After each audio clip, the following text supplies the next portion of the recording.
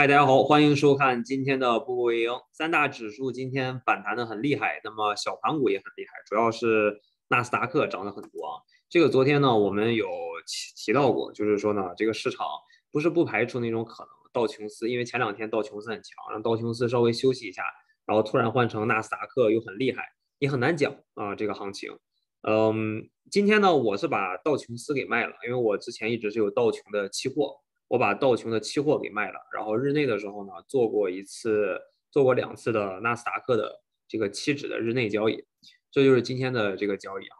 嗯，啊，他还还买了一点点小小的中概股的期权。呃，我觉得呢，我我的观点和昨天呢还是没有什么变化。我觉得这个市场是反转了，啊，我觉得是反转，但是呢不太清楚它会怎么个涨法，因为我昨天就预计。这个市场可能会有回踩，我比我以道琼斯为例，我觉得市场呢可能是在这个位置上面会有直接有回踩，然后震荡之后或者双底或者怎么样的，然后再继续往上走，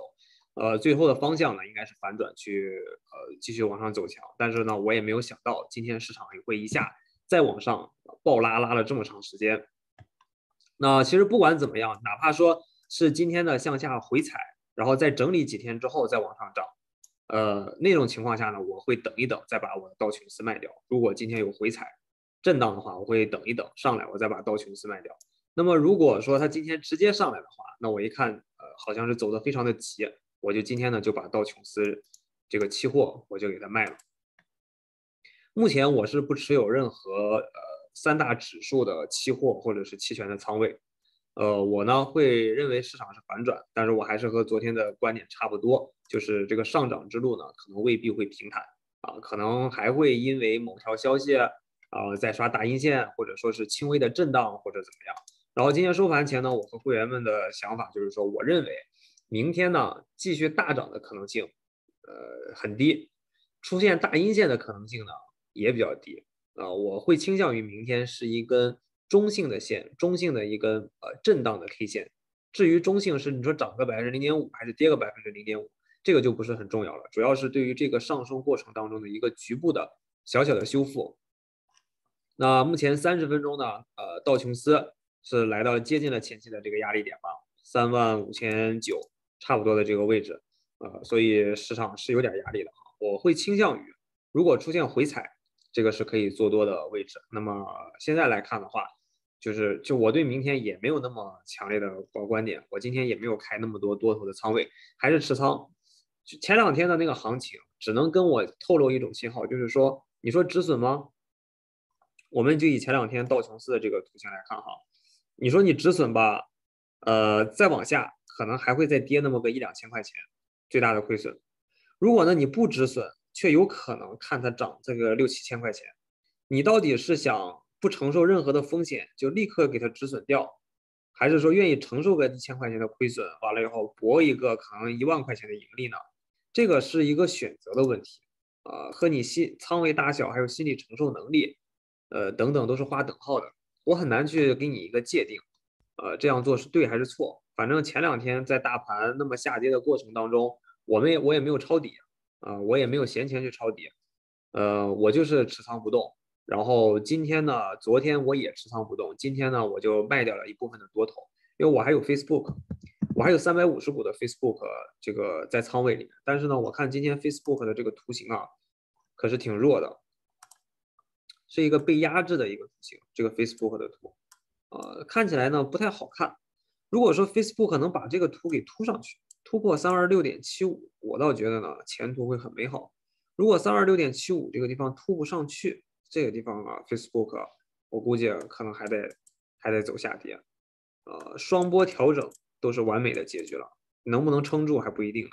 三百块钱能不能撑住还不一定，反正局部呢，我看 Facebook 是到压力了，如果这个压力点能突破的话，后市应该还是比较乐观的，呃，一个状态。行，这个就是大盘，呃，如果明天有大回踩，我觉得我可能应该会去进场抄底，或者是进场去做多。那如果明天继续往上拉升，我可能就会把 Facebook 卖掉啊，因为我觉得连拉三天，这个回调的概率会越来越大啊。大家有没有懂我现在就是我个人对于市场的观点是什么啊？就是这一轮上涨我也没有参与进来说是抄底或者怎么样，因为前一段下跌的时候，那些多头仓位还都在，我只不过是继续持有的那些多头，比如比如大家，我看前一段时间问我的那个大麻，我也是还还拿在手里面。那我看今天的这个大麻股呢，还挺好的，啊，就是至少没下跌，大盘往上涨的时候它没下跌，呃，所以整体吧，其实说实话，今天市场好像也没有下跌的股票了，都是在往上涨。这大麻股还是继续往上看一个反弹吧。如果说明天呢市场再涨，涨得很厉害，我也许我会把大麻股我就给卖掉了，我就不要大麻的仓位了，呃，因为随着这个强力拉升越来越往上，再出现回踩的概率就会越来越高。而且现在呢，你真的保不定，突然就出现一条消息，哎，我们的这个病毒啊，发现它这个传染力比较大，市场噼里啪啦又在往下掉。啊，你看，我现在看到这个世界卫生组织说，呃，Delta 变毒在欧洲区域仍占主导地位。OK，这是 Delta 的病毒。行，纽美国纽约州报道新增八千二百一十例新冠肺炎，新增五十二例死亡病例。这都是今天的数据啊，哎呦，还挺悲惨的。澳大利亚维多利亚报道新增一千三百一十二例新冠病毒，还是有风险的，还是市场当中还是有点风险。好，然后呢，中概呢有一些中概就今天反弹的比较厉害，比如说拼多多呀涨得很厉害。我呢今天就买了一点点小鹏汽车，我买了我买了两千三百块钱的期权，啊，买了一月份的这这反正买的期权啊，就是。呃，仓位很低啊，就假设跌到四十六块钱跌破了，就可以撤退，就是做一个顺势的小做吧。然后还买了呃另一个其他的这个中概股。然后 UVXY 呢，这里啊它是破位，它已经破位了。然后重要的支撑，今天早盘的那个支撑已经是给向下打穿了，早盘这里就很重要，就直接向下击穿了，所以今天大盘就单边上行。接下来呢？呃，比较重要的支撑点分别是十六和十五。其实如果十六这个位置再跌破，UVXY 就基本上就就歇菜了。我认为呢，现在已经就是定了。UVXY 即便反弹弹到二十块钱左右，也难保难保下跌的状态。所以今天的大盘的一个大幅度的上涨，就基本上呃，我觉得可以确认，只要在没有真的其他的那些意外的消息。啊，疫情的这种消息突然来影响我们这个行情的话，我是觉得，呃，很快我们就会再看见新高。圣诞行情加上明年一月份的整个的这个过渡期，大盘呢应该还会再创新高。嗯，然后是这中间会有一次美联储的利率决议，啊，那个时候但应该是几个周以后的事情了，我们再来考虑吧。在这短时间之内，我们只要担忧疫情的问题。如果没有疫情的问题的话，就没什么问题。然后呢，苹果继续的往上走高。今天盘中时间段哦，今天我盘中时间段的时候，我还卖了一个苹果。呃，在我们的那个 Leap 账户里面，我卖了一个苹果。苹果盘后有消息说，他和中国签了一个两千五百万的，呃，多少多少钱？签了一个，我看一下啊，签了一个两千七百五十亿美元的五年协议，啊，帮助中国。投资、呃，商业交易、工人培训、发协助发展中国的经济和提升技术，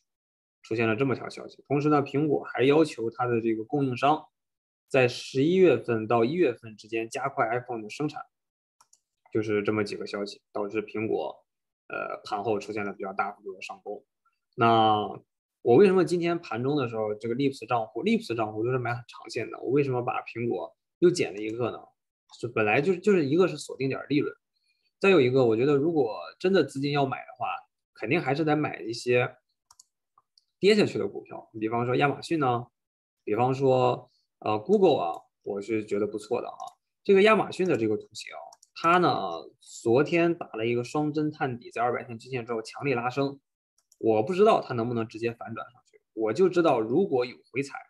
应该是一个不错的机会。然后我们看亚马逊这里走一个呃上升三角，然后最终向上去突破。我觉得亚马逊最终还是一个突破的造型，三千八会拿下，去到四千块钱，就明年二三月份以前这个事情就能办完。我觉得行，这都是基于今天的市场做的分析。呃，那我可以明确的告诉大家，大家如果突然出现一个利空消息，明天大盘暴跌，可能我这个观点还得变。那技术分析嘛，就是随着市场行情在走，呃，不可技术分析也不可能预测到所有的这个市场。然后我的想法里面呢，也不全是技术分析，还掺杂了一下我个人的对于市场的想法，或者是呃个人的偏见吧。啊，咱们我目前对于市场我就是这么分析的。然后航空啊这些东西那就不用提了。然后这个这些东西啊，我说的是大时间的看涨，大家呢不要这个这个一两个月、两三个月，我们就来衡量波音啊，或者说达美啊、航空啊这些股票的怎么样。我们真的要看我说的对不对，他们的长线，咱们一两年以后再看。我们看看一两年以后这个股票是不是真的就变成了这个位置上了，还是说就变成了这个位置上了？你现在你说从二百六啊跌到了一百二，就这么个区间，你到时候真正的一两年以后上这儿了或者上这儿了，这点这点幅度这都不算什么了。你现在来看的话，整个差不多去年十月份到现在，其实横横盘呢。那大家细看一下这个。行情的话，从去年十月份、十一月份到现在，这不就是个横盘吗？所以真正的属于它的趋势还没有开呢。那长线呢，你还是在这个眼光放长一点，然后我们耐心一点，看看真的看看长线吧。然后我画一个大的级别的上升通道，我觉得波音会走这种超级大型的上升格局。所以时间还需要大家耐心等待，好吧？我们依然是上看三百的目标。好，谢谢大家。